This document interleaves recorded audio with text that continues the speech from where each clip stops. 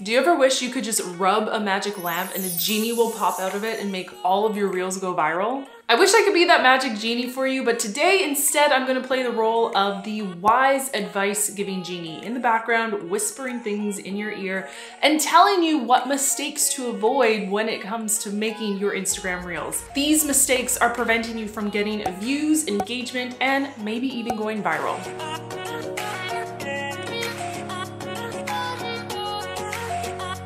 First mistake I see business owners making when it comes to their reels, and I am totally guilty of this one too, is when you have one reel go semi-viral or maybe even viral, in comparison to what your typical views are, continue that format of reel. Make more reels in that style. I have made this mistake in the past where I made one reel with this one clip of audio and it did really well. It got over 250,000 views. Let's take a look.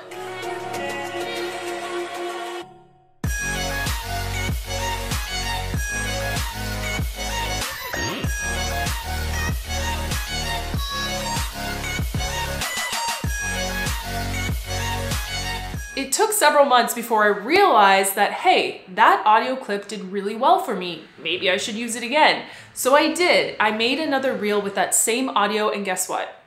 It got a million views.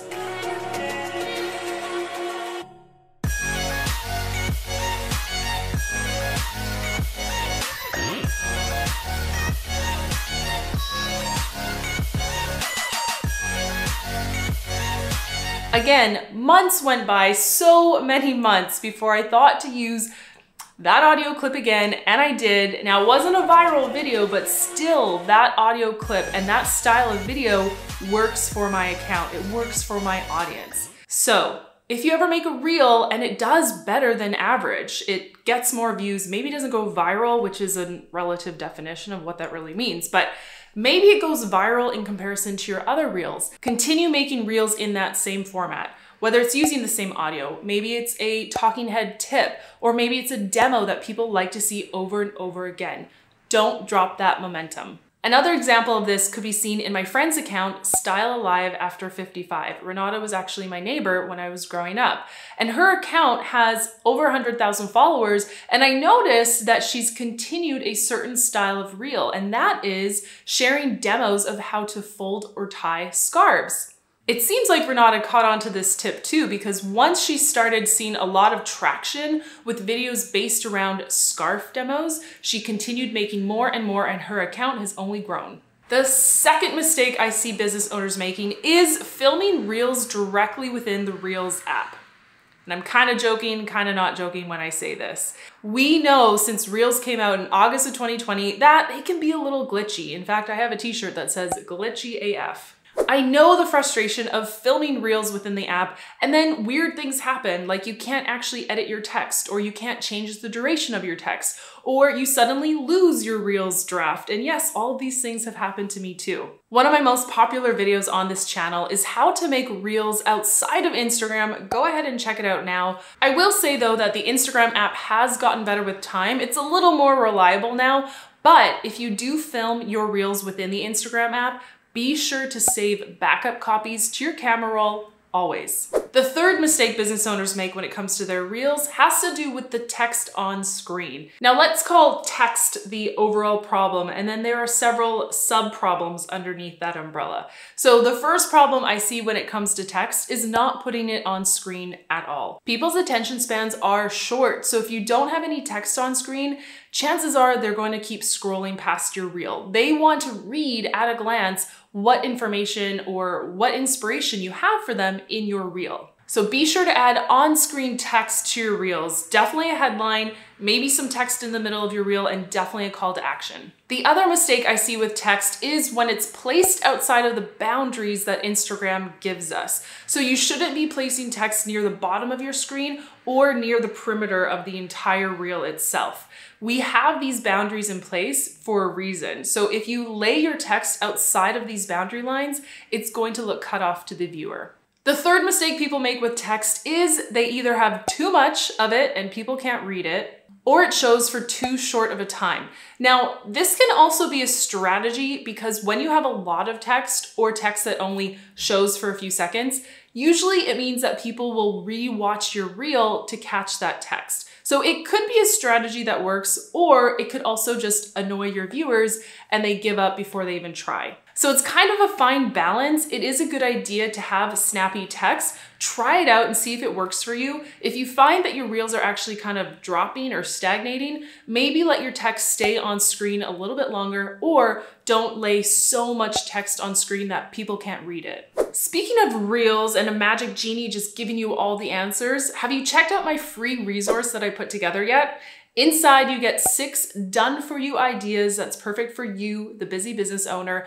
And no, you don't have to dance, you don't have to point if you don't want to. These are six proven ideas for business. If you're interested, head to elisedarma.co slash reels and grab it today. It's free. The fourth mistake business owners make is only jumping on trends. Now I've noticed a pattern. When trends first came out a la TikTok style, business owners were very like, No, to. It looks silly. It's for the teens. But now, now today, business owners are in with the trends. They like the fun music, the fun audio. However, it's great to do that. It shares your personality. You can have fun with your video. These are all good things. But the mistake I see is when business owners only produce trends and they forget to share tips or value or free information within their reels. I am guilty of doing this one where I have enjoyed finding trending audio a whole lot, but then when I polled my audience and asked them, what do you like to see? Trends or tips-based reels? They overwhelmingly chose my tips-based reels. And when I looked at my data and my insights, my best performing reels are the ones where I am sharing tips. Whether I'm talking on camera like this or the text is displayed on screen with little text bubbles. So remember, trends are great, trends are fun, but don't forget to also mix in some pure value and pure information-based reels too. The next mistake business owners make is something that I thought we all worked through like a year ago, but I still see this happening, and it's this. It's repurposing your TikToks over into Instagram, but including the TikTok logo in your video. Now, this is a mistake because we know from Instagram, Instagram has already said that it won't promote or really push out videos that have other brand logos, AKA TikTok, its main competitor. So while TikTok is a great place to find trends and make videos, and of course you're gonna wanna save your TikTok and repurpose it for Reels, there's one more step you need to take and it's removing the TikTok logo or watermark from your video. I've covered this process in depth in this video right here, so be sure to check it out. The next mistake I see my students make a lot is ignoring the pre-production process. Instead, they just jump on TikTok or Instagram, they look for trends, they look for audio, and then they wanna film and write and edit and all that stuff in one go. Your creation process for your reels is gonna be so much more efficient if you take a few moments before you start filming to plan out what you need to do, say, or even what the text is gonna be that you're gonna put on screen in your reel. So to keep it simple, I like to first find the reel or audio that I'm gonna use for my brand. Then I bring it into my production tool, which is called Asana. And that's where I plan out what I need to say or what my on-screen text is gonna be. Once I have that in place, then I'm good to film. Then once I've filmed, it's a lot easier to edit because I've done that brainstorming and that planning in advance. This pre-production process that I'm referring to is also called batch creation. And I know that finding videos and adapting them to your business can take so much time. It can be biggest hump that you need to get over before you can start filming. That's why I created a product called Videos Vault.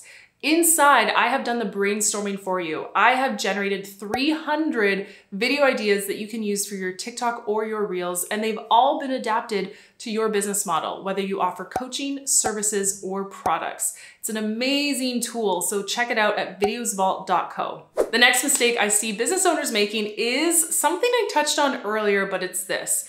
As you're filming Reels, it's often you'll find glitches. It's an app that's in constant development. So when you film Reels, especially within the Instagram app, be sure to save backup copies to your camera roll. Even if it saves without the audio, which is common, you can always just re-upload that video clip to your matched audio at a later date if you were to lose that draft. Now, along with this mistake, I also see business owners not updating their Instagram app frequently enough. As I said, it's an app that's in constant update mode. It seems to change like almost every week, every time I open it. Especially when I travel to different countries, it looks different no matter where I am. So be sure to always update in your app store the Instagram app so that you're using the latest version that you have access to.